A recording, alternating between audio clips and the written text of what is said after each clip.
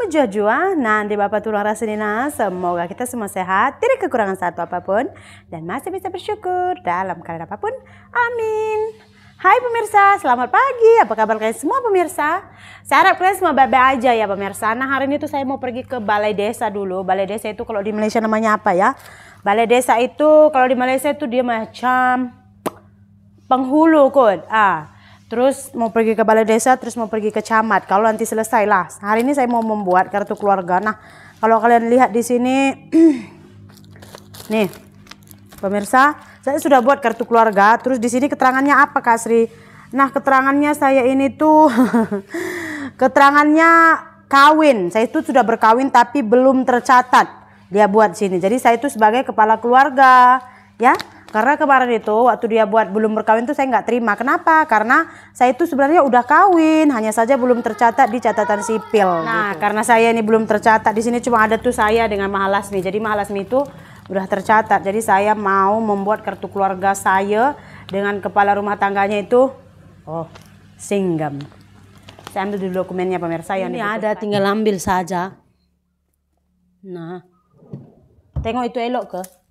Koyak Oke, ini dia pemirsa ini udah ada foto stepnya, foto kopinya lah. Hmm, perlu. Banyak ini kita bawa semua dokumen. Belum nak, kok ini ada kawin catatan sipil. Sudah ada, ini kita bawa yang aslinya satu. Mana tahu nanti ditanyanya yang di Malaysia ya kan saya rasa enggak sih. Tapi tak tahu lah. Surat surat Lashmi Mage, surat beranak anak saya ini. Mahendran. Saya bawa lah, nanti mana tahu dimintanya ya kan.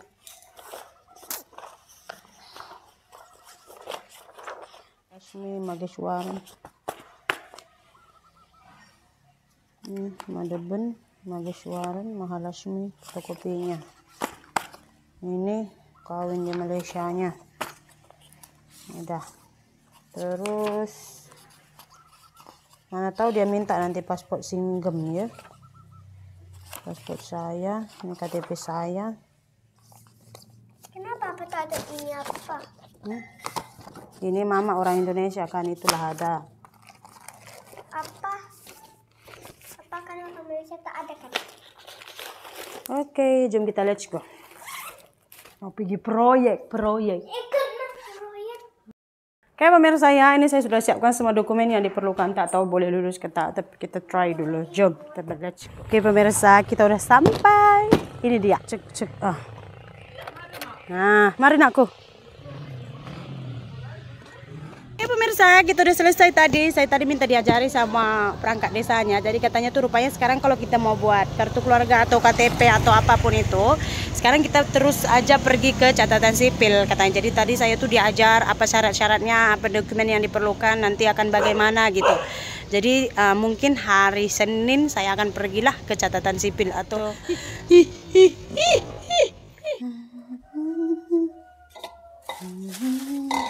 Tadi saya dan suami saya pergi ke Stabat pemirsa, ke catatan sipil untuk ngurus kartu keluarganya. Ternyata pemirsa, macam mana pemandangan yang waktu saya nampak di Malaysia, macam itu juga saya nampak di sini. Tadi itu ada satu orang yang dia itu berkawin dengan warga negara asing juga, tapi dia berkawin dengan warga negara Australia kalau saya tak silap tadi pemirsa. Jadi tapi dia suaminya di Australia, dia di sini. Jadi mereka itu nggak daftar kawin di sini. Nggak ada apa-apa secara agama pun gitu. Jadi anaknya itu tadi dianggap anak kayak anak di luar nikah gitu pemirsa. Hampir sama juga lah pemandangan yang saya nampak di Malaysia dulu ada juga yang seperti ini tuh udah urus daftar kawin nggak? Selesai selesai pemirsa memang terlalu ribet mengurus dokumen untuk kawin campur. Tadi urus dokumen kami. Memang suami saya boleh masuk ke kartu keluarga kami gitu. Tapi ke, kepala keluarga tetap saya lah. Suami saya itu kira macam anak-anak dia ikut gitu. Tanggungan nah macam tanggungan saya dia anak suami gitu. Tapi dia nggak nggak warga negara nggak dapat nik karena dia masih warga negara Malaysia. Anak saya juga masih double dui kewarganegaraan ya. Nanti kalau udah dewasa dari segi undang-undang Indonesia mereka juga akan disuruh milih gitu. Kalau misalkan anak saya nanti milih Malaysia ya udah mereka nggak akan dapat KTP di sini. Begitulah kerebetan berkawin dengan dua warga negara ini. Kesabaran betul tak? Lagi ke Stabat pun berapa jauh penat.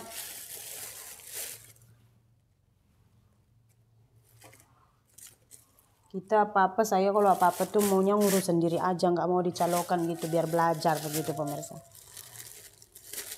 Ya ribet sih memang ribet tapi ya nggak apa-apa ya kan? Nanti udah ada pengalaman kebetulan di kampung saya itu ramai sekali yang berkawin dengan orang Malaysia. Kebanyakannya semua India. Jadi uh, capilnya tuh sudah agak mahir dari segi ini. Cuman katanya ah cuman saya lah yang memang mau pindah ke sini tuh uh, persiapannya itu udah 100% semua udah siap gitu katanya. Jadi nggak nggak susah lagi katanya. Jadi cepat siapnya.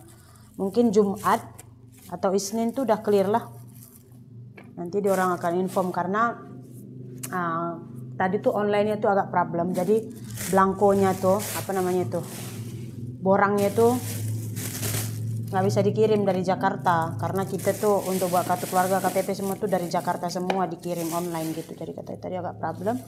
Tengok esok atau Isnin akan siap katanya pemirsa. Terus berapa biayanya Sri? Nggak bayar gratis. Kalau kita ngurus sendiri apa apa memang gratis. Tapi kalau kita suruh calo macam kita tamu penat-penat mau ke stabat ke sana sini tuh letih kan?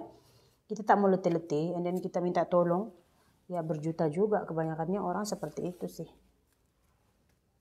Cuman kalau saya ini udah biasa dengan penat-penat dan leceh-leceh saya lagi pun udah ada motor kan. Jadi saya bilang sama suami saya kenapa gak kita uruskan aja sendiri? Mungkin kalian pikir pemirsa saya ini orangnya tuh boros beli ini beli itu mentang-mentang ada duit gitu kan. Saya itu orangnya sih kalau untuk hal yang hmm, yang saya rasa itu penting saya itu nggak rugi ngeluarin uang. Tapi untuk untuk untuk hal-hal macam ini kan nggak mau ngurus nggak mau capek akhirnya ya udah bayar orang juta-juta yang penting siap tenang gitu. Saya nggak mau mengeluarkan uang pemirsa. Jadi saya itu sebenarnya nggak nggak kedekut mengeluarkan uang tapi kalau saya rasa uang tuh berbalau untuk dikeluarkan gitu. Mama saya ini nanti mesti dia kata me udah beli buah kau. Ke rumah aku ya. Ah. Saya nih dia memang agak suka buah. Orang-orang kampung kami ini memang agak jarang beli-beli buah. Beli pun paling ya untuk sekali makan aja beli ya orange satu kilo gitu. Habis makan ya udah nggak ada istilahnya tuh yang disimpan dalam peti ais untuk standby. Nanti mau makan dua hari lepas mau makan tuh enggak saya aja kalau waktu kecil saya ingat bila terakhir kali saya makan buah. Pernah itu saya sama bibi saya dia pulang dari kerjaannya itu. Jadi dia mau balik kampung jumpa nenek saya. Jadi dia nggak berani jalan sendiri. Jalan kaki itu sekitar dua jam setengah juga lah terus katanya ayolah antar saya ke rumah nenek nanti saya bagi kau satu apple karena saya teringin kali mau makan apple tuh ya udah saya jalan dua, dua jam setengah dua jam setengah pergi balik lima jam dengan satu apple bayangkan. Ada pun suka makan ini. Nanti mama saya datang wih banyak buahmu katanya. Dia suka makan buah. Hmm. ini macam banyak buah pemirsa. Huh. Dengan buah sebanyak ini cuma 60 ringgit tadi ini pun udah banyak makan lagi ada di sana saya letak rambutan kalau udah tinggal di Indonesia pemirsa pesta-pesta tengok ke slipper saya saya beli 10 ringgit hmm. kekecilan Siap Monda. Jangan nangis. Kenapa tarik-tariknya rambut itu? Kenapa?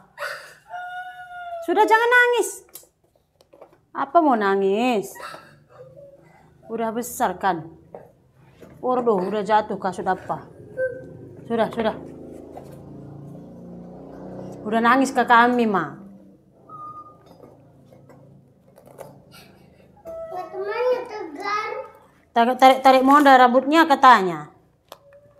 Eh, iya, Kim. Udah minta maaf. Udah minta maaf, Tegar. Iya. Tapi Monda udah minta maaf, iya, nak kok. Iya. Kenapa kamu maafkan? Kok sakit kan? Belum. Kamu tipu wah. Udah selesai pemirsa, jadi begitulah dia cerita pengurusan dokumen suami saya. Kita tengok esok ataupun hari Isnin, maybe udah selesai. Dan kita tengok nanti keterangan suami saya di sini itu boleh jadi eh, kepala keluarga atau tidak.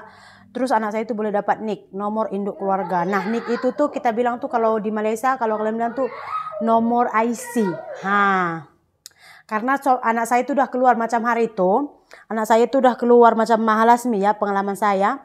Mahalasmi hari itu dia udah keluar eh akte kelahiran merah di Malaysia. Walaupun dia belum wa- walaupun di situ dia bukan warga negara, dia masih lagi keturunan Indonesia gitu. Jadi udah dia keluar akte kelahiran dari JPN. Jadi bila saya datang ke sini dan saya mau membuat eh, akte kelahiran Lasmi, pihak Catpil sini tuh nggak mau lagi mengeluarkan akte kelahiran. Katanya akte kelahiran tuh boleh dikeluarkan hanya di satu tempat sahaja. Kalau di Malaysia udah keluar ya udah yang di Malaysia itu aja. Jadi untuk membuat paspor Lasmi dulu karena di sini kami dulu belum hmm, belum berkawin belum belum mendaftar kan.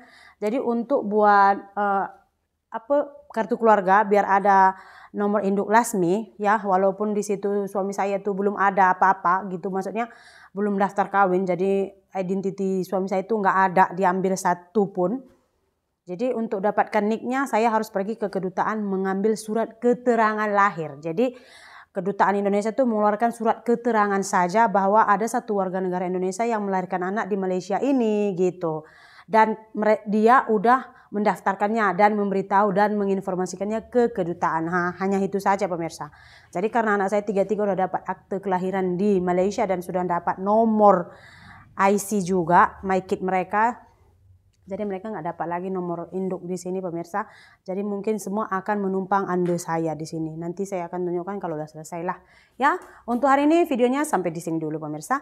Terima kasih banyak sudah melihat video kami. Kita jumpa lagi di video berikutnya. Bye.